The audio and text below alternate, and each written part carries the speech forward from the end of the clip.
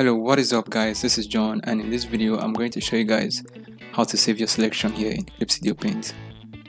So first of all, what you want to do is pick up your uh, selection, your lasso tool here.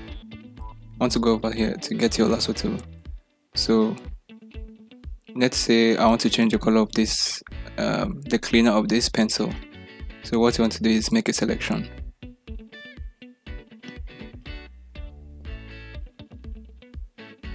I know this selection is bad, but let me make it better. I'm going to fast forward this video.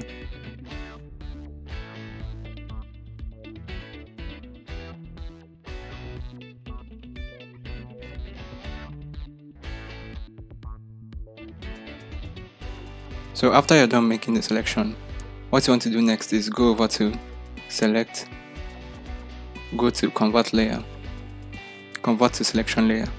You click that here's what you're going to get. You get this layer that comes out. So this layer is the selection layer. And to activate this layer what you have to do is control click this and you get back the selection that you, that you have.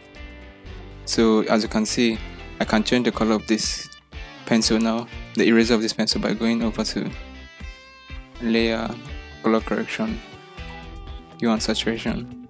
Here I can change the color of the eraser to anything that I want. As long as I still have the selection here, I can change the color of this eraser to anything that I want with this selection layer. So the point I'm trying to make here is you can always go back to the selection if you deselect this pencil. You can always control click the selection layer even if the layer is turned off or on. Doesn't matter. All you just have to do is control click this layer and then you have the selection back so that's it for this video guys. Make sure to hit that subscribe button if you enjoyed this video.